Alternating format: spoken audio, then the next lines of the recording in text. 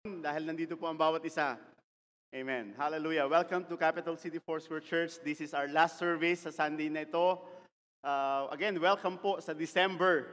This is the last month of 2018 and we are so thankful dahil masusurvive muli natin yung taong ito by the help and grace ng ating mong Panginoon. Amen.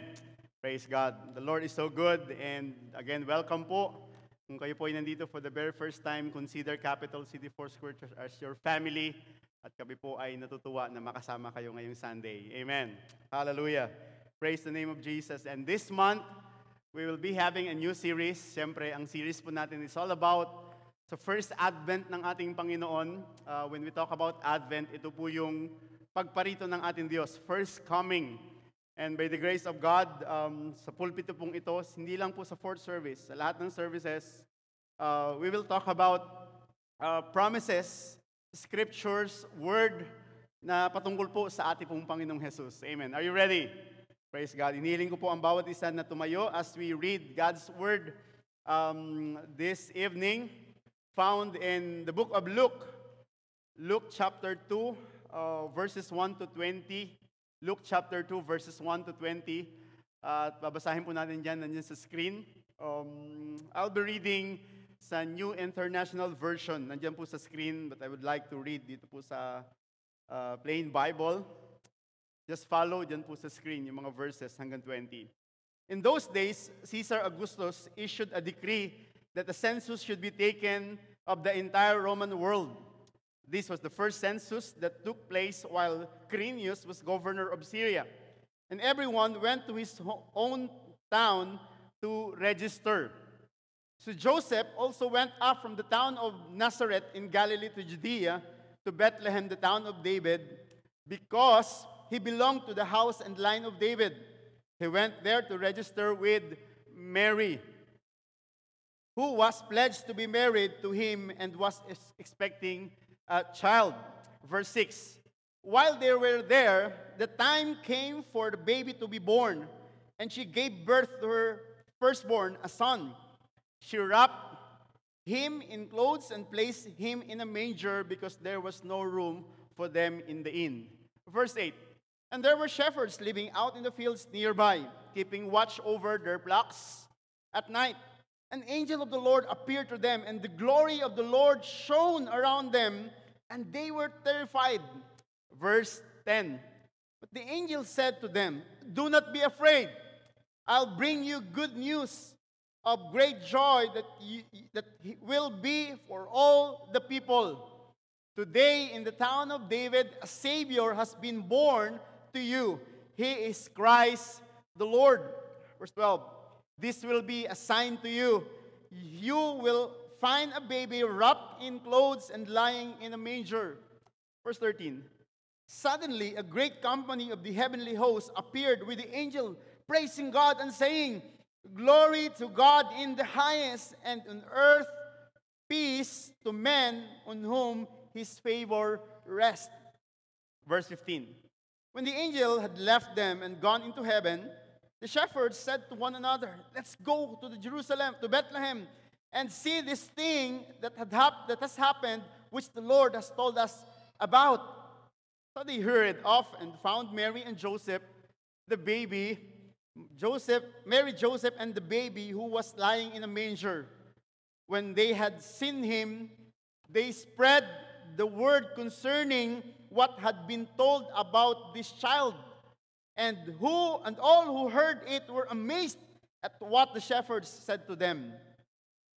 But Mary, again, but Mary treasured all these things and pondered them in her heart.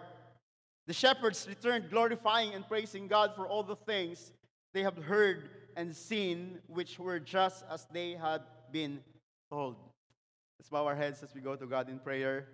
Father, in the name of Jesus, precious po ang aming napakinggan because these words that we have just read are your words putting details about the first Christmas.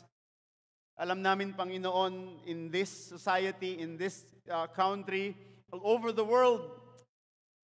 Most of us are celebrating, will be celebrating the whole month knowing, Lord, that you came, knowing, Lord, that thousand years ago, 2,000 years ago, you came. At salamat, Panginoon, dahil itong message na to, buhay na buhay, maging sa panahon po namin. We pray that as we meditate upon your word, as we listen from it, naniniwala po kami, O Diyos, that you will reveal yourself to us. That you will allow us, Lord, to really grasp kung ano po ang tunay na message ng inyo pong ginawa sa krus ng Kalbaryo. Lord, before that cross of Calvary, salamat po because we can really, Lord, um, learn from you, especially your first advent, that this message is so crucial even in our time right now. Marami pong salamat and allow us to be uh, transformed, allow us to be renewed, Panginoon, habang nakikinig kami ng iyong mga salita. Pinupuri ka namin at pinapasalamatan in the mighty name of Jesus. This is our prayer. Amen, amen. You may all be seated. Praise the name of Jesus. Hallelujah. 19 years ago, wow, 19 years ago, I think I shared this sa inyo ng mga nakaraang uh, preaching. Um, I came across with an article na patungkol po sa isang uh, nasa journey at itong lalaking ito ay nasa desert.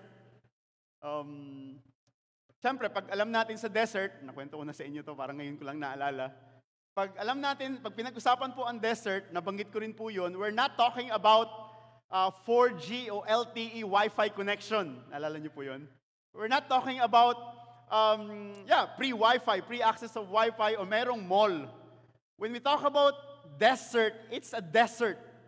Siguro ang makikita lang natin doon, lalo na pag hindi naman masyadong sandy, or yung mga dry desert, maring may cactus, diba? or may mga bagay na um, hindi nakikita natin pag dito sa city or sa metro or sa downtown. That article, ang sabi po doon, meron pong isang nasa journey at about to give up. Kasi halos matagal na po siyang nagla, na, nasa journey, pero dumating po sa point na parang nawawala na siya. And uh, he tried to encourage himself na magpatuloy, pero lahat ng kanyang daladala ay nawala. And all of a sudden, bumagsak po siya.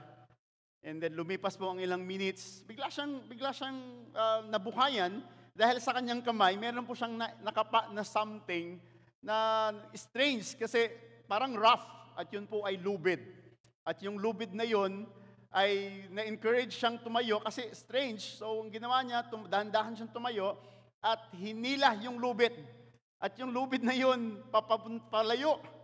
Uh, dinala siya doon sa pinakadulo ng lubid at napadpad siya doon sa isang deep well. Naalala niyo po yung kwentong yon? Yung deep well na poso sa probinsya, uso po yan, yung binobombahan. Alala niyo po yon? At uh, excited po siya kasi alam niya yun. Siguro Filipino yung, yung nasa journey. But anyway, uh, alam niya yun. So excited siya, kinuha niya yung kanyang mga lagayin ng tubig para mailagay doon. Pero walang lumalabas na tubig. Kung kayo po ay familiar sa deep well, Uh, hindi po yung pump na nilalagyan po, may pump siya. In, uh, uh, pinapump po yung tubig para lumabas ng makina or something, um, jet wheel or something, jet pumps. Wala pong ganun, talagang manual. So alam natin na kailangan pong lagyan ng tubig para magkahangin at umakyat yung tubig. Familiar tayo sa ganun. Sa probinsya, sa Odjongan, ang tawag doon ay pasapoy. Lalagyan ng tubig, tapos gaganon, tapos aakyat yung tubig. So, he was so disappointed. Na-encourage siya na merong deep well na uh, gusto niya makita yung ganung bagay. Lumabas yung tubig at makapagpatuloy sa journey. Bala, muntik na siyang mag-give up. Pero nung about to give up, meron siyang nakitang uh, isang strange again na bagay na hindi kalayuan dun sa deep well. At yun yung moment kung saan pinuntahan niya, meron siyang nakitang hole na maliit lang na kasya ang isang pitsil na tubig. Isang pitsil ng tubig. At yung tubig na yon, alam niya nang gagawin. Pero pag angat niya yung tubig, merong instruction sa ilalim. By the way, ito po ay article. Hindi ko po alam kung totoong nangyari, pero parang strange sa pagkwento natin. Pero parang, paano, anong gagawin nun ng ganun? Pero article ko po ito nabasa, 19 years ago. So that's 1999, first year ako sa Bible school. So ganun po yung nangyari. Kinuha niya with that instruction, an instruction kung paano mo siya natagpuan ganun din mo rin ibalik at iiwan. So ang instruction is, kunin, tapos uh, magpasa po, maglagay ng tubig doon sa deep well, tapos lalabas yung tubig, tapos pwede ka mong ilagyan ng lahat ng tubig, yung container mo, at pwede ka magpatuloy. Pero before kang umalis, dapat mong lagyan muli yung tubig, pitchel, na, na bago ka bago ka umalis uli para yung huling uh, yung yung taong mapapadpad uli doon ay makikita at makakapagpatuloy at hindi po masisira yung journey.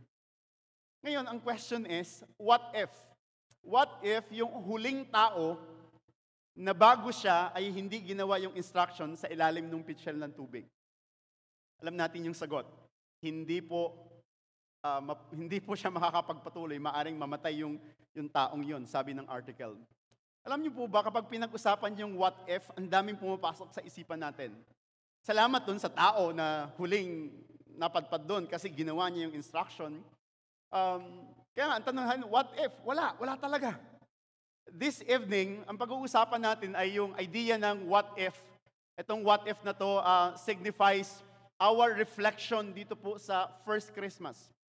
The great what if. Kahapon po ang mga young people, uh, high school, college, at may mga young professional, ay mayroon pong sharing na ginawa. Ang theme ay ganun din, the great what if from the book of Matthew, and this time I'll be focusing sa book of Luke.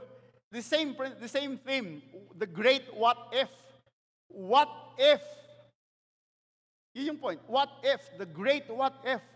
So again, in this material, I'll be presenting the great what if from the book of Luke. And I believe na as we move forward dito po sa ating celebration, makikita natin yung mga what if dito po sa Bible.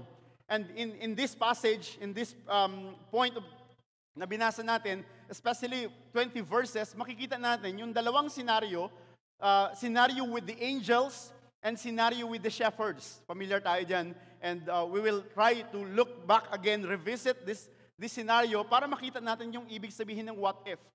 Alam natin na itong mga messenger na to, yung angel at yung shepherd came with something. I mean, they received something. Ang question this evening, the great what if, what if the true message of Christmas was not proclaimed then? I was talking of, I'm talking of, I'm talking of the angels. What if the, the angels did not, I mean, proclaim the message originally to the shepherds? What if they edited, edited yung, yung, yung message about the Savior? yung message about Christmas. What if hindi nila na-receive yung message? Ay sabi doon, what if the true message of Christmas was not proclaimed ng mga angels, from God, angels to the shepherds, then, nung unang panahon, as it was originally received. Ibig sabihin, na-receive yun ng mga angels and then they proclaim it to the shepherds. Later on, di ba, nabasa natin, this, the shepherds also receive it from the angels and then all, all, all of a sudden, they proclaim it later on. Diba? Nakita natin po yun, nabasa natin. Gayon, with that scenario, the great what if ay lumabas. Ang pag-uusapan natin ay tayo sa panahon natin ngayon. What if that message from the angel, from God to angel, angel to shepherd, and to this generation, uh, specifically to Capital City Four Square Church, what if wala silang na-receive na message noon or walang message na dala sa atin ngayon. Maraming pwedeng mangyari. Maraming pwedeng mangyari. And in this sharing, I'll be share, I'll be uh, talking about two, the great what if. Uh, sabihin natin result ng great what if. Hindi natin ma-receive yung true message, hindi, na, hindi nila na, na-receive yung true message as it was originally uh, received by, by those individuals or those angels and shepherds. Meron pong dalawa. At I believe as we um, take a look, these two, sabi nating reflection from the first Christmas, naniniwala po ako na mas lalo nating makikita at tama po yung ating pag-celebrate ng Christmas. Tama as what the Bible declared, tama as what the Bible explained sa ating panahon, lalo na sa binasa po nating uh, mga talata. And in this presentation, I'll be using three versions. Yung una po ay NIV yung binasa ko kanina. And also, I'll be using Pinoy version, yung New Testament. And latter portion, I'll be, I'll be using New King James Bible. Um, meron pong emphasis later on. First thing, what if the true message of Christmas was not proclaimed then at it, as it was originally received? Ang unang sagot po dyan ay makikita po natin uh, sa verses 18 8 to 14 ng chapter 2 ng book of Luke. Ang sagot ay, there will be no true gospel message today. Bakit merong gospel message today? Bakit merong word of God today? Bakit meron tayong the word of God about Christmas? Bakit merong senaryo tayong nababasa? Bakit merong nativity? Bakit merong mga celebration about Christmas? Because those individuals mentioned in the book of Luke, ang kanilang na-receive ay true, pinoclaim ng angels sa mga shepherds, and here comes the shepherd witnessing Mary, Joseph, and baby Jesus. And all of a sudden, after that, they shared it. Kaya nagkaroon tayo ng true message. Let me explain that phrase first before moving on. Um, when you talk about gospel in the Bible, ang original message ng gospel or ibig sabihin ay good news or good message. Bakit pa nilagyan natin ng gospel message? Uh, parang redundant statement, but I would like to present na yung gospel message ay merong emphasis in a sense na maraming gospel na hindi totoo. Maraming gospel na hindi talaga totoo at gas, half gospel. Uh, sabihin nating um, presentation ng salita ng Panginoon pero hindi talaga yun yung sinasabi ng Panginoon. So that's why merong emphasis when I use the word true gospel message. We're talking about then and we're talking about now. If the true, again, yung principle natin, if the true message, what if the true message of Christmas was not proclaimed then as it was originally received? Ang sagot, ang mangyayari, there will be no true gospel message today. Marami ngayon, maraming hindi totoong gospel message, lalo na pagdating sa Christmas. Alam natin po yan, ang dami pong songs, ang dami pong mga senaryo sa Christmas na parang, wow, hindi yan yung sinasabi ng Bible, hindi yan yung dapat na presentation natin. And in this material, um, makikita natin na the angels delivered a true gospel message. A true gospel message. And we can read that sa verses 8 hanggang 14. I'll just emphasize po yung mga portion ng scripture. I'll just read, sabi ng verse, uh, verse 8 ng chapter uh, 2, Lu- Pinoy version. Um, ang sabi po dito, sa Pinoy version, may mga shepherds sa lugar na yon. Wow. Binabantayan nila ang mga alaga nilang tupa sa bukid ng gabing yun. Biglang nagpakita, sabi doon, biglang nagpakita sa kanila ang anghel ng Panginoon at sabi doon, nagliwanag ang kadakilaan ng Panginoon sa paligid nila, kaya natakot sila. I mean, pag-usapan natin yung shepherd, ang mga shepherd po noon, outcast. I mean, just, just imagine the scenario. Ito po ay first Christmas. Actually, nung binisita sila ng anghel, pinanganak na si Jesus. Yun yung scenario, pinanganak na si Jesus. Pero baby pa lang si Jesus. Nandun pa lang sa manger. Lying in the manger. Pero nangyari na yung kapanganakan. Pero ibig sabihin, how on, how on earth na yung angel from God visited the the shepherds. Outcasts. I mean, hindi sila, never silang makakalapit po sa templo because ang shepherds po na trabaho noon ay talagang hindi po maganda, marumi. Diba? Nag-aalaga po ng lamb. Pero it's so strange na these shepherds who take care of lambs ay mapapansin natin or sheep, sila po ay makakadaong palad yung lamb of God. It's a providential issue here na talagang pinakita ng ating Panginoon And when you read the book of Matthew, Matthew, Mark, Luke, and John, prior to the book of Gospel, narinig nyo rin sa pulpito, na before the New Testament, from the book of Malachi to Matthew, meron pong tinatawag na 400 silent years. Familiar ba kayo sa 400 silent years? Ibig sabihin, no prophet, walang propetang binigay ang Diyos sa bansang Israel dahil pasaway ang Israel. So wala siyang revelation walang mga angelic thing na nangyari, walang propeta nagsasalita about the future of Israel. And here comes the scenario. Yung mga shepherds, maaring anong ginagawa ng shepherds habang nagbabantay ng tupa? At night, at night, uh, hindi sila naglalaro ng ML. Wala, hindi sila naglalaro kung anumang mga laro. Ang ginagawa nila ay wala lang, nagbabantay ng tupa. So that's why kung mababasa natin yung statement, biglang nagpakita sa kanila ang anghel ng Panginoon At nagliwanag ang kadakilaan ng Panginoon sa paligid nila, kaya natakot sila. Parang, sino kami para bigyan kami, I mean, bigyan kami ng shower of glory of God at that night? Di ba? Kaya natakot sila. Alam niyo po, yung visitation sa New Testament ng angel, nakakatakot. Remember, sa, sa, sa book of, um, ganun, sa book of Luke din, and Matthew, yung dinalaw ng anghel si Mary. Di ba natakot din si Mary? When you read sa book of uh, Luke din, actually sa book of Luke doon, chapter 1, mapapansin po natin doon na kakaiba po yung nangyari nung pinanganak si uh, pinanganak si Jesus or before pang ipanganak si Jesus, wala po yan sa screen.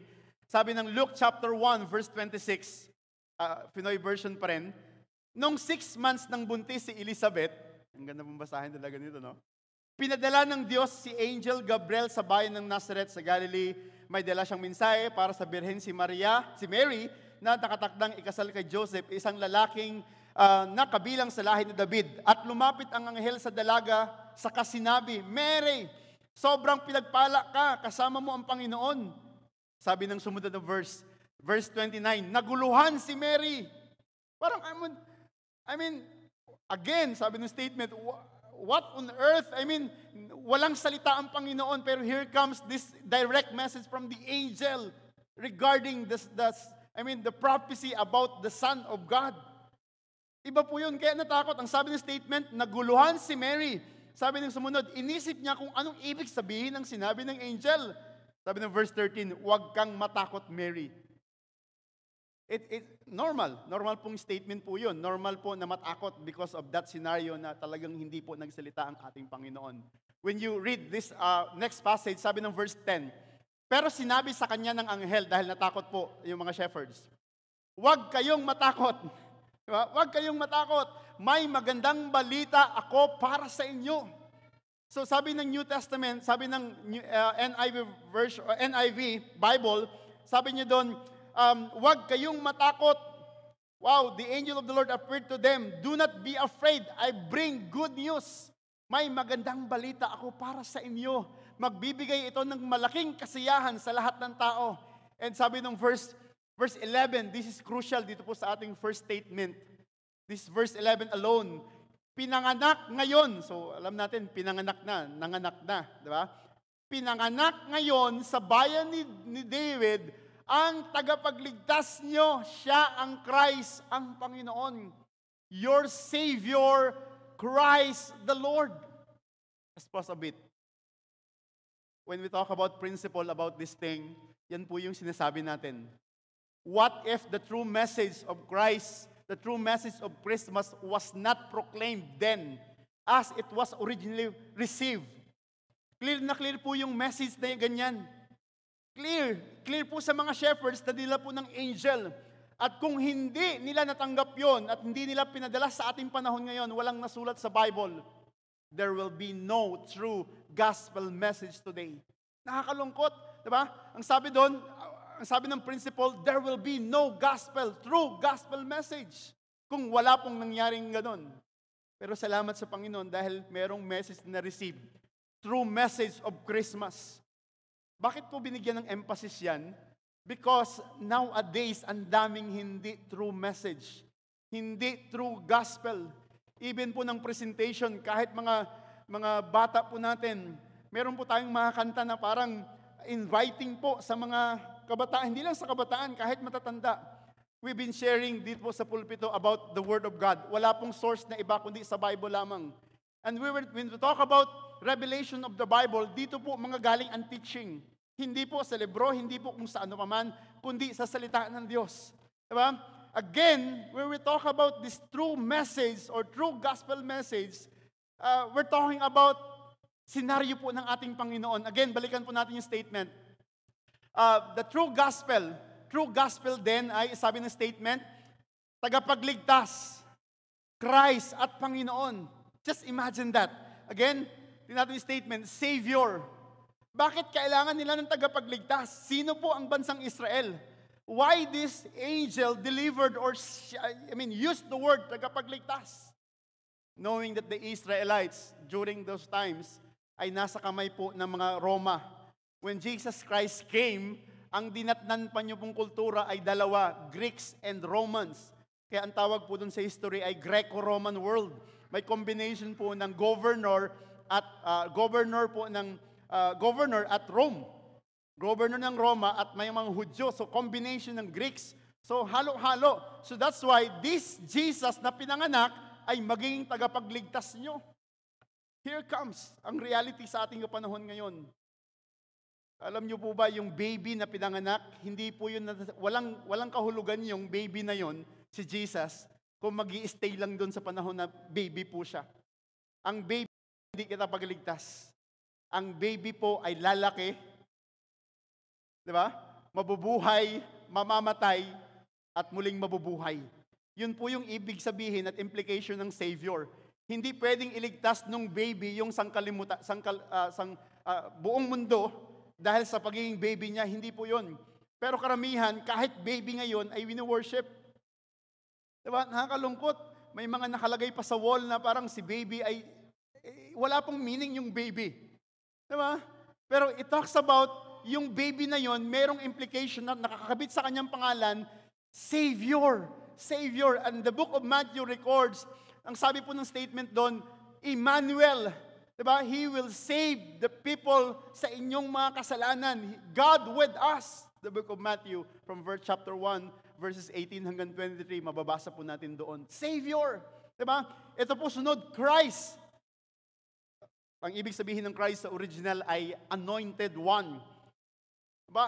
Related po yan later on sa Messiah. Siya lang po yung ating Kristo.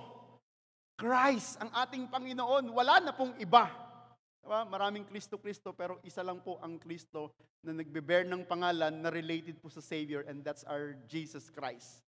We're talking about here true gospel message. We're talking about something na hindi po nag-grasp ng buong mundo. Nag-grasp ng dati, or ibig sabihin, nakuha dati, pero minsan lumalayo at lumilihis sa true message, lalo na sa panahon natin ngayon. And also, ang true message, gospel message then ay Lord. Panginoon, when you receive Jesus Christ as our Lord and Savior or Savior, minsan ayaw pong tanggapin si Jesus as Lord, tinatanggap lang as Savior. Kasi when, you talk, when we talk about Lord, we are talking about His Lordship sa yung master at tayo yung servant. Tayo yung not alila, pero servant in a sense na kung anong sinabi ng master, kung anong sinabi ng Lord, we will follow. Yun yung essence po ng Lord. Nowadays, yung Savior, Christ at Lord ay hindi na po na-emphasis, bibigyan ng emphasis when we talk about gospel presentation. Nakakalungkot, ang natatanggap ng mga Kristiyano na tumatanggap kay Jesus ay pahapyaw sa character na present ng angel sa shepherds at ng shepherds sa sangkatauhan. Nakakalungkot. Kaya ang dami pong implications sa panahon natin ngayon. Ang question is, anong gospel message today? Marami, pwedeng question part. Clear na clear po yung gospel, gospel message din. Savior, Christ, and Lord. Pero ngayon, ibang-iba na. Iba na ang presentation ng gospel ngayon. And I would like to present yung idea ng kung paano po in-embrace ng tao yung first Christmas. Meron pong sitwasyon po nito. Um, sa US, maraming holidays. Pero karamihan, pagdating po sa, sa Christmas, hindi na po Merry Christmas. Ang greetings ng karamihan, lalo na sa mga greeting cards, sa mga cards, di ba, uso pa ang cards noon, ang nakagay ay wala ng Merry Christmas. Karamihan po ay Happy Holidays. Meron pang sumunod, Seasons Greetings. But let's me explain. Kasi uh, sa kultura po ng US at Canada, meron po silang maraming holidays. Marami pong seasons na tinatawag. So that's why season, seasons, greetings, and happy holidays. Pero ang focal point ng happy holidays ay nakafocus po sa Christmas and Thanksgiving. So, happy holidays, Christmas and Thanksgiving. At meron pang dalawang particular na holidays na related din po, not sa Christmas, kundi sa regular holidays ng US at ng Canada.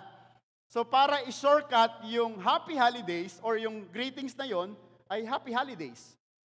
Di ba? Meron po silang celebration ng Thanksgiving. So parang hindi masyadong highlighted um, or masyadong maraming sinasabi, Happy Holidays. At ngayon, Kahit sa kultura natin, nadadala natin yung ganong idea. I'm not saying na mali o yung kultura ng US at ng Canada, hindi po ganon ang presentation. What we're saying is, ang nadadala sa atin ngayon ay yung idea, yung kultura na parang nawawala yung ideyang Christ. Diba? Meron tayong nakikitang ganyan, Merry Christmas, Merry Xmas. Sabi nila parang tinanggal yung Christ sa Christmas, parang sinorkat, merong history yan. Ang history niyan ay merong isang Anglo-Saxon scribe. Um, ang exact date ay 1001 AD. Ngayon po ay 2018. So, 1001 AD. Ngayon, parang ngayon is 2018. Yung Anglo-Saxon uh, scribe, nagsusulat, um, gusto niya pong mag, magtipid po ng papel, ng parchment. At yung parchment, during those times, 1001, 1001, uh, lagay natin, 1,017 years ago, ibig sabihin, sinorkat niya yung Merry Christmas. Ang ginawa niya actually ay hindi Xmas, kundi Merry X, uh, XP Mas. Merry XP Mas. So parang okay, acceptable. Pero ang ibig sabihin ng X sa original ay Christ actually. Bakit? Kasi ang X is the Greek letter, uh, the, Greek letter, a Greek letter. At yung letter na yon ay C-H-I. C-H-I, parang key, key. Kaya mapapansin natin sa mga kotse, sa likod ng kotse may nakalagay na isda. Alam niyo ba, ba yun? Pag may nakalagay na isda, hindi ka ikakat nun sa sa sa sa, sa kalye, di ba? Mabait 'yun, hindi 'yun nag, nag maba, ibig sabihin Kristiyano siya. Bakit Kristiyano? Kasi may word na Jesus. Paano naging Jesus yung fish? Parang ganoon, di ba po? Parang ganun yung fish. Kasi sa, sa Greek, ang pagsulat ng C, H, I, or X, ay ganun yung parang ganun. C, tapos parang X, and then um, naka, hindi, nakatago yung I. So parang X, tapos C, H. So ganun yung nangyari. So ibig sabihin, Christ, X, parehas lang po yun. Kaya ang sabi ng iba, meron pong debate or meron pong war against Happy Holidays or Merry Christmas and then Merry Xmas. Pero wala po. Wala po. Ang war lang is parang yung happy holidays and season greetings. At meron po sa panahon natin ngayon, yung sinasabi natin na Merry Christmas. Ngayon, ang gusto nating i-point out ay yung idea na ngayon, uh, dahil hindi natin kultura yung happy holidays, it's good to proclaim kung ano talaga ang totoong message ng Christmas. Uh, minsan nga na lang, wala pang nakapakinig ng Merry Christmas. Hindi pa natin sasabihin yung Merry Christmas ang totoong message ay about Christ. Meron pong isang uh, slogan na ginawa, Keep Christ in Christmas. Keep Christ in Christmas. O come up with a Christ-centered celebration. Yun yung sinabi nila. At yun yung mga na, ginawa nilang explanation na huwag pong alisin si Jesus. Huwag pong alisin. Um, at dahil po doon, marami pong nangyari. Dahil po dyan sa mga celebrations na yan, marami pong uh, nangyari. At sa pong nangyari ay nakafocus yung iba sa mga bagay-bagay. Yung nasa ilalim ng Christmas tree. Sabi po ng isang author, nakalimutan ko yung author niyan, The beauty of Christmas is not in the presence, but in His presence. The beauty of Christmas is not dun po sa nakalagay sa ilalim ng Christmas tree, but in His presence sa buhay po ng bawat isa sa atin. That's the true message of Christmas. That's the true gospel message na dapat nating embrace. Pero dahil, I mean, bombarded tayo ng napakaraming civilizations at modern nations, uh, modernizations, or sabi natin contemporizations, daming mga sions. Pero isig, ang ibig sabihin lang nun, ang daming influence sa ating palibot. Let's be aware, kahit yung mga bata, hindi alam po yung nativity scenes. Hindi po nila alam kung anong ibig sabihin ng, ng Christmas tree. Hindi po nila alam kung anong ibig sabihin ng uh, mga mga decorations, bakit may ilaw, bakit may mga naririn, may mga ganung bagay. Meron tayong familiar dito sa statement na yan, Christ is the reason for the season. Diba? Kahit malungkot, I mean, kahit may mga naisip tayo mga bagay na unfortunate, kumbaga, pero just just remember the true message of Christmas is about Christ. It's about He being our Savior, He being our Christ, He being our Lord. at hindi dun po sa mga bagay na alok ng mundong ito. Napakarami. Napakarami. Meron pong, meron tayong kilala na alam na meron ngayong sa Nuvali. Familiar ba kayo sa Nuvali, sa Santa Rosa? Ang daming ilaw. Ang ganda, parang Disneyland theme actually. Nagpaplano kayong pumunta doon, pero we're thinking of traffic. We're thinking of sobrang layo. Meron dito sa Philinvest, yung bahay, alam niyo sa Philinvest, uh, Marcos Highway, bahay na ang daming Christmas light at talagang sobrang daming Christmas light. Sabi ng isang author, kahit mag-display ka na napakaraming Christmas light, kung ang buhay mo pa rin ay nasa kadiliman, wala pa rin. Oh, grabe yun, no? So parang yung Christmas light, parang uh, front lang ng real situation. Hindi natin hindi natin ginajudge yung mga naglagay ng Christmas tree kasi kahit kami may Christmas lights, meron kami mga decoration. What we're saying is, hindi natin alisin yung totoong message na na-receive ng angel sa Lord at ng angel sa mga shepherds at ng mga shepherds sa nearby towns that moment. At sa panahon natin, dapat clear pa rin yung message na nire-receive natin. When we talk about Christmas, true message of Christmas, ang magandang suggestion is, Huwag hindi natin, lalo yung mga bata, hindi nila alam. Before tayong mag um, Noche Buena or before matapos yung December, gather your family members and talk about what the Bible is saying about first Christmas. Diba? When, we, when we talk about this, we are, I mean, ang gusto ng Panginoon ay dalhin tayo dun sa celebration na Christ-centered. Hindi anumang mga bagay. Sabi ng isang pastor, our goal is to eliminate anything that is in competition with Jesus. In competition with the true message. Nakakalungkot, panahon natin ngayon, kung tanungin po ang Christmas, hindi po alam. Meron po nagsasabi na Christmas is about Santa Claus. Ako po nung bata ako, nagsabit ako ng medyas. Nagsabit talaga ako ng medyas. Yung pala, natulog ako sa, sa sala, uh, expected ko na parang pag merong kumalansing, gigising ako para excited akong, uh, siguro mga grade 2, grade 3 hanggang grade, hanggang grade 6. Ganun yung ginagawa ko. Pagdating ng grade 6, yung pala, naapakan ako ng papa ko, siya pala ang sasabit. Kasi that time, si papa ko ay nagiinom. na, naapakan niya ako, magsasabit na po siya doon sa, sa sala po ako natulog noon. I mean, di ba parang ang focus natin ay ganun. Ang focus natin ay ibang bagay. Sana po hindi ganun. Dahil ang presentation po ng message noon ay true gospel message about Jesus Christ about His, save, about His saving act. That's why, hindi natin pwedeng ipag-separate yung kanyang birth at yung kanyang kamatayan.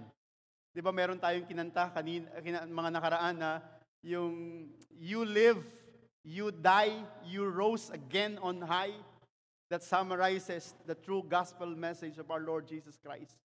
Ang celebration ng Christmas ay hindi dapat ipag-ihiwalay sa celebration ng Holy Week Parehas lang po yun. Ang celebration ng Christmas, again, ay hindi dapat pwedeng ihiwalay sa celebration ng Holy Week. Dahil nung siya pinanganak, nag-celebrate ang langit. Nung siya ay namatay, nag-celebrate si Satan, yeah? Pero nag-celebrate din ang langit. Dahil alam ng langit na si Jesus Christ, after three days, muling mabubuhay para tayo po ay iligtas. That's the true message of Christmas. Kaya po ngayon sa ating kapanahunan, before tayo mag-celebrate ng napakaraming bagay, ang tanong sa atin is what if? What if wala tayong na-receive na message ngayon tulad po ng na-receive ng first people or sabihin natin individuals who received that message from the angel and that is the shepherds. Um, hindi po na-proclaim noon as it was originally received. Kawawa, there will be no gospel message today. Dahil alam natin yung gospel message, mas maganda pong i-share po natin yung iba. I-share natin yung Word of God, i-share natin yung gospel, i-share natin yung totoong message about Savior, about He being our Christ, being our Lord sa buhay po ng bawat isa sa atin. Amen. Praise the name of Jesus. Secondly, this evening, what if the true message of Christmas was not proclaimed then? tinago ng mga angel, inedit ng angel. And then, at it was originally received. Nung ma-receive ng mga shepherds, wala, in, sa kanila lang, di ba? Pero hindi, kasi ang sabi ng Bible, nabasa natin doon, ay, Do not be afraid, I will bring you good news of great joy. So tell it to others. Ang sagot po sa pangalawa na dapat nating tandaan, ito po yun, there will be no true gospel mandate today as declared by the shepherds. What do I mean by mandate or gospel mandate? Pag sinabing mandate, ang unang uh, synonyms niyan ay order. Or pwede, pwede natin sabihin utos. Um, uh, encouragement para mas lalong um, pa, pababawin. It talks about, um, it's imperative in a sense na meron tayong gagawin. Merong binibigay na command ang Panginoon sa atin in a positive way. Pero nilagyan natin ng true gospel mandate. Uh, last month, I've been sharing about motivation, uh, sorry, motivation and then manipulation. Ibig sabihin, pag manipulation, pag hindi mo 'to ginawa, lagot ka. Ang, mo, ang that's manipulation. Ang motivation, which is mandate from God, ay gagawin mo ito in response to what He has done. Are you following? So that's the biblical mandate. That's the true gospel of the Lord Jesus Christ as declared by the shepherds. Yung last portion ng chapter 2 verses, I mean, according to our passage, 15 to 20, um, I'll be using New King James Bible. Ang sabi po niyan, as it was when the angels had gone from them into heaven, that the shepherds said to one another, Let us now go to Bethlehem and see this thing that has come to pass, which the Lord has made known to us. Alam niyo, just pause a bit. Yung verse 15, ang yaman po na statement na yan. Pagkatapos mo nilang natakot dahil dumating po yung angel and the glory of God shone upon them, sabi po ng senaryo, natakot sila. And then the angel said, don't be afraid. Sabi po ng verse 9, uh, verse 10. But the angel, don't be afraid. Good news ang ibibigay ko sa inyo. There's a Savior. There's Christ, our Lord. And here comes verse 15. So it was when the angels had gone away from them into heaven, that the shepherds said to one another, Let us now go to Bethlehem and see these things that has come to pass, which the Lord has made known to us. Ang focus natin dyan is that the shepherds said to one another, ang mandate sa kanila ay clear. Ito po yung true gospel mandate sa panahon. They talk about it. They talk about it. Ano yung pinag-usapan nila? Yung na-receive nilang message. Yung true message nilang na-receive. Hindi yung ibang mga bagay. They talk about yung original nilang na-receive from the angel. Let us now go to Bethlehem and see this thing that has come to pass, which the Lord has made known to us. Clear na clear po yung message na na-receive nila. Here comes their response their, their, I mean, God's mandate, and that's true gospel mandate. They talk about it. Nowadays, alam niyo po pinag-uusapan natin ngayon pag Christmas. Ha? Pagpatak po ng December 1, meron po akong nakita ng status sa Facebook. Meron na po siyang mga prayer list. Meron siyang prayer items. Okay pong mag-status sa Facebook. That's our own privacy. That's our own um, wall. That's our own, I mean, eh, freedom natin po yun. Ah, pwede ting gawin yon, walang problema. Pero habang nagbabasa po ako sa Facebook, nag-scroll-scroll, parang nakikita natin talagang ang need ng tao ay hindi talaga need, wants. Ba? Gusto nating pag-usapan yung mga bagay-bagay na dapat ay ang focus ay si Lord, pero hindi naging focus. Ang celebration ngayon, iba nang pinag-uusapan. Nakakalungkot sa panahon natin ngayon, may mga Christmas party, di ba? Christmas fellowship. Para masyadong biblical, huwag kayong gumamit ng Christmas party. Pag gagawa kayo ng album sa Facebook, mag-upload kayo ng, ng Facebook photos, huwag kayong maglalagay ng Christmas Party 2018 para masyadong, masyadong biblical, Christmas fellowship, parang ganon. Pero party pa rin yun. Pero ang nakakalungkot sa mga fellowship or party whatsoever, yung Word of God hindi po na na-share. Wala nang ibang pinag-uusapan. Excited sila sa games kasi may prize. Excited sila sa raffle. Okay naman po yun. Pero kapag ikaw ay leader ng isang company, if you're a boss, make sure na eh, meron kayong Christmas party, hindi pa late kasi second, we're in second day pa lang ng December. Pag merong Christmas party, talk about what the Lord has done. Talk about the true message of Christmas. And that mandate is, we're talking about it Hindi dapat tayong mahiya. Di ba, minsan nagiging boring na yung pag-share tayo ng Word of God. Ah, sige po, napaka, napaka spiritual naman. Dapat po spiritual. Because this is the true message that we have received. Just imagine, ano kaya kung nahiya yung mga shepherds? Ano kaya kung, that's why, what if? Ano kaya kung hindi nila shinare yung Word of God noon? Wala tayong marireceive ngayon. Kung ikaw ay head ng family before mag-party, share about Jesus. Kung hindi mo, kahit hindi mo nabuklatin yung Bible, alam mo yung story, pwede mong pag-usapan sa buong pamilya. Diba? Talk about, ano sa palagay mo ang the best gift ng Christmas? Ang sagot ng mga bata, um, gusto ko ng ganto, gusto ko ng ganto. Diba? Ang ganda pong share sa mga hindi pa nakakilala kay Jesus Christ. Talk about what the Lord has done. At ang pinakamagandang regalo po ay yung kanyang presensya sa buhay ng bawat isa sa atin. Talk about it. Talk about it. They talk about it. Bakit tayo hindi natin nagagawa? Sabi ng verse 16, And they came with the haste and found Mary and Joseph and the babe. Babe po yan kasi New King James. Babe lying in a manger.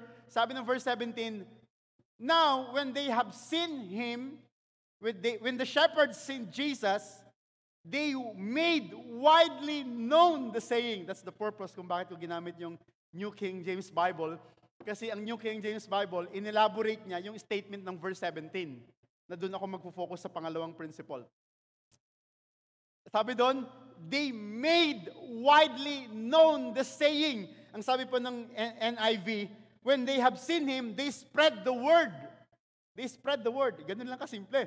Pero sa New King James Version, they made widely known. Ano pong ibig sabihin ng statement na yan? Which was told them concerning this child. Ang ibig sabihin yan, they shared it.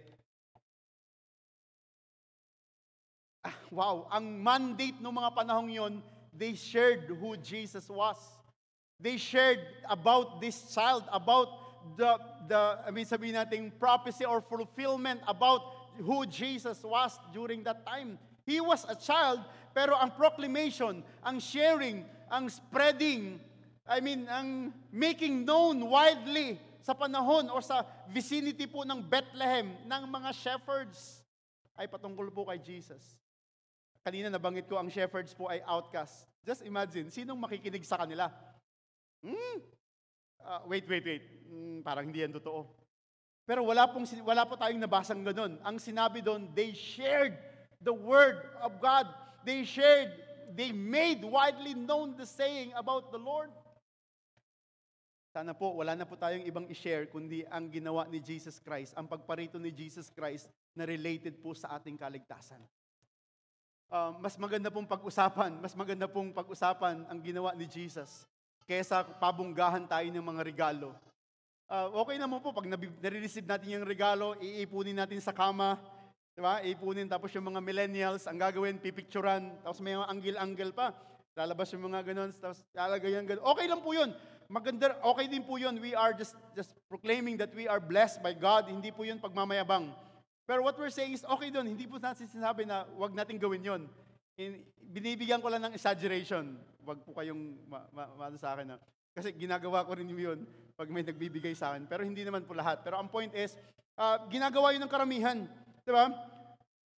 Pero sana po minsan, imbis na i-share natin yung mga blessing, i-share po natin yung nagbigay ng blessing. I-share po natin yung dapat nating i-share. Diba? Hindi yung blessing natin. Maaring pwedeng i-share natin yung ating mga blessings. Pero mas maganda, i-share po natin yung nagbigay sa atin ng blessing.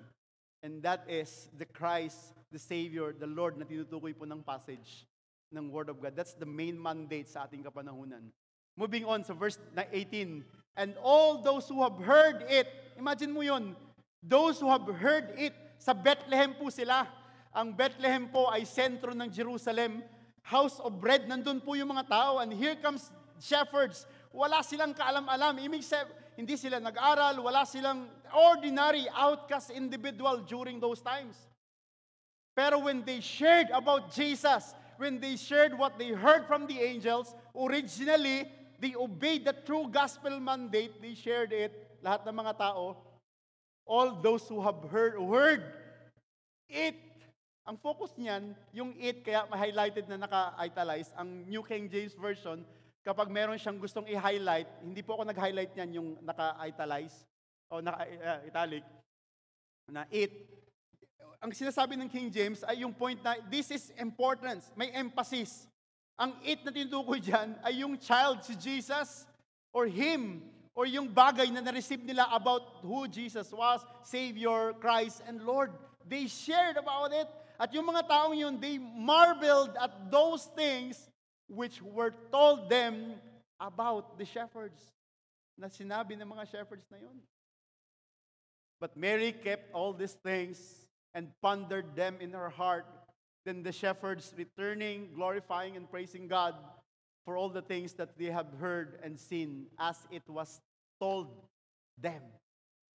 Bumabalik pa rin dun po sa message na sinasabi ng Bible. Ang ginawa po ng mga shepherds, highlighted, glorifying, return, glorifying, praising God. Wow, hallelujah. Anong ginawa dyan ng shepherds kanina? They talk about it, they shared it. Ngayon naman, they worship God because of Ang tinutukoy nating it dyan, yung gospel message. They worship God because of it. Kanina, they were terrified. Natakot sila. And when they received the true message, Nung na-receive nila po yun, they receive also the mandate. Kasi 'di ba? Nung na-receive nila, okay lang, okay, sige, thank you angels. Wow, nakita namin si Jesus Christ and that's it. Hindi po nag, nagtapos doon. Pinag-usapan nila, they talk about, they share Jesus. At the end, they worship God. They glorified God. Maybe next week or week after, the third Sunday, maring i-share po yung Magi. Familiar ba kayo sa, sa event ng Magi? When we talk about this worshiping thing, meron pong moment sa book of, book of Matthew, chapter 2, verses 1 to 12, 1, 1 to 1 to 23 actually, pero ang focus natin verses 1 to 2. Yung mga magi nagtanong kay King Herod. Sabi ng verse 1, And Jesus was born in Bethlehem in Judea, account po ng Matthew. During the time of King Herod, magi from the east came to Jerusalem. Gusto mo nating sabihin, ang ating traditions, tinuro sa atin na yan po ay mga hari, di ba? Yung ating traditions, tinuruan tayo na hari. May kanta pa yan, di ba? May tatlong haring nagsidalaw. Wala pong hari sa Biblia maliban sa haring Jesus na tinutukoy ng Matthew chapter 2. Pero ang tradition na tinuturo sa atin ay hari po sila. Hindi po sila hari. Sa Old Testament, may magi po, may mga magistrates na tinawag sa book of Daniel. They were kingmakers. Hindi sila hari, magi, wise men. Pero yung traditions talaga, iba po ang tinuturo sa atin. Inaalis tayo sa totoong message ng Christmas. Meron pang pangalan, Melchor, Gaspar at Baltasar. Wala yun sa Biblia. Tradition lang po yun. Kaya minsan pag, pag kinakanta natin yon, may tatlong haring nagsidal. Wala kang makikita sa Bible na yun. So again, what we're trying to accomplish is bringing the true gospel message and I mean, ang dating sa atin nito, yung true mandate. Di ba? Sabi ng verse 2, And ask, sabi ng mga magi, where is the one? Where is the one who has been born King of the Jews? Sino po ang tinanungan nila? Si King Herod. Sino si Herod? King. At that time, siya po ay king ng po ng Judea, governor na po siya at combination po ng Rome, Hari po siya ng mga Hudyo din. Pero here comes this wise men. Ang tinanungan nila ay hari, where is the one who has been born king of the Jews? Ha? Ano ba kayo? Hari ang kaharap nyo, tapos naghahanap kayo ng king of the Jews? Yun ba yung magpapabagsak sa akin? Pwede niyang patayin right there and then. Pero hindi po yung nangyari kasi sabi ng Bible, we saw his star when it rose and have come to worship him when the shepherds shared the word of God and I mean worship God because of the gospel, here comes the magi from the uh, supervision or sovereignty of God na nireveal sa kanila ng Panginoon na yung star na nag-guide sila from the east to Jerusalem. Hallelujah. Ang sabi ng statement, we have come to worship Him. We have come to worship Him. Alam niyo po, kahit si King Herod, nagulat si Herod. Pinatawag niya yung mga tao, pinatawag niya yung mga, actually before that verse 7, sabi ng verses uh, 3, 4, 5, 6, nagtanong siya sa mga, mga Pharisees, Saan ba ipapanganak yung ano, yung Messiah? Sabi doon, sa Bethlehem, Judea. Ha, nagulat siya.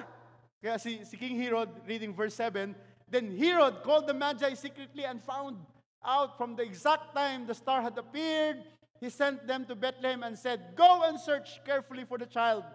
As soon as you find him, report to me so that I too may go and worship him.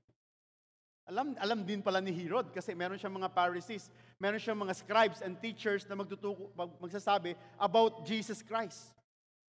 Alam niya, alam niya na dapat napurihin ang Panginoon. So that's why ang next statement, after they have heard the king, they went on their way, and the star they had seen from the east, wow, when it rose, went ahead of them until it stopped over the place where the child was. When they saw the star, they were overjoyed. On coming to the house, they saw the child with his mother Mary, and they bowed down and worship. Ang direct object niyan ay him, hindi si Mary ang winorship. Ang direct object niyan ng Christmas ay si him, si Jesus. They bow down, they worship because of it, because of Jesus Christ because of the Lord Jesus Christ. At sabi doon, they opened their treasures and presented Him with gifts of gold, frankincense, and myrrh. Diyan po nakuha ng traditions kung bakit tatlo ang wise men, hindi hari, wise men. Kasi tatlo ang regalo nila. Gold, frankincense, and myrrh. Pero sa ancient time, sa Hudyo at sa, sa Greeks, ang tatlong yan ay common na nirigalo sa isang hari at uh, clergy na tao sa panahong yun. So, Not probably, hindi sila tatlo, marami po sila. Pero ang point dyan is, again, they worship God. They worship God because of it. Kaya ang point natin dito, kung hindi nangyari yon, wala pong mandate na dadala sa ating panahon ngayon. Wala pong inuutos sa atin. Ngayong Christmas, ang dami nating hinahanap, ang dami nating hinihingi. Let's recap that thing. Through message or gospel mandate, then they talk about it. They shared it. And also, they worship God before it. Ang panahon natin ngayon, nakakalungkot. Gospel Monday today, question mark again. Anong dala ng Christmas? Laging nakafocus pa rin sa atin. Pero okay naman din minsan yun. Diba? Ang minsan may focus na kakaiba eh. Sabi ng isang author, di ba ang Christmas ay season of giving, season of forgiveness, season of happiness and joy. Sabi ng isang pastor, bakit kailangan pang hintayin yung, yung December para i-share yun? Samantalang araw-araw naman ay pwedeng gawin yun. Nakakalungkot. Ang mandate sa atin ay dapat nating pag-usapan ang ginawa ng ating Panginoon. Nowadays, people are talking about traditions, as mentioned, and also sharing about myths, sharing about false gospel, sharing about false, I mean, encouragement, false motivation or manipulation thing na gawin mo to pag hindi mo to ginawa, wala pong mangyayari. And that's not true. That's why I included the word true gospel mandate. And nowadays, they are pointing to somebody else. Christmas is about, not about somebody else. Christmas is about Jesus Christ. It's not about gifts na ma-receive natin. It's about our gift to Him. Meron pong isang, isang family sa US na pinag-usapan yung moment na gawing Christ-centered ang Christmas. Ang ginawa po nila, naggawa sila ng instead of Merry Christmas, in specific, inilagay nila sa specific celebration, Happy Birthday Jesus. Hindi po nilalagay sa December 25, but just Happy Birthday Jesus. Ang gagawin natin today is let's talk about it, let's share it, and let's just worship God because of it. So every time na nandito tayo sa harapan, nag-worship sa Panginoon, give your best. Huwag na natin hintayin yung Mission Sunday para tayo mag-share. Share the gospel of Jesus Christ. Share the true message of Christmas. Share about it sa mga bata, sa mga hindi na nakakabasa ng Bible o wala ng opportunity to, to really listen. Merong mga books ngayon na parang nilalayo na tayo sa Christmas. Huwag nating basahin, basahin natin yung Bible. Again, as mentioned kanina, part of our application is talk about it, share it, and also worship God. As one family, you can gather mo ang bawat isa. Papasalamatan natin Panginoon because He came Pasalamatan natin siya because niligtas niya tayo at pasalamatan natin siya dahil sa ginawa niya sa buhay po ng bawat isa sa atin. What if the true message of the Christmas was not proclaimed then as it was originally received? There will be no true gospel message today and also there will be no true gospel mandate today. Ang encouragement sa bawat isa sa atin ay eto po, let's make our Christmas celebration Christ-centered. Let's keep, let's make, make an effort that our Christmas celebration is Christ-centered. Nakafocus sa kanyang ginawa, sa pagparito niya sa buhay po ng bawat isa sa atin, at kung ano po ang pwede nating gawin para sa Kanya, do it for Him. Dahil deserving po ang ating Panginoon. Huwag na nating hintayin po yung Holy Week. Huwag na nating hintayin pa ibang moments sa buhay natin para sa pasalamatan. The first advent of Jesus Christ, the first coming, ay pwede po nating ibuhos yung ating pagpapasalamat sa ating Panginoon. Amen. Let's keep Christ in Christmas. Hallelujah. Let's bow our heads as we go to God in prayer.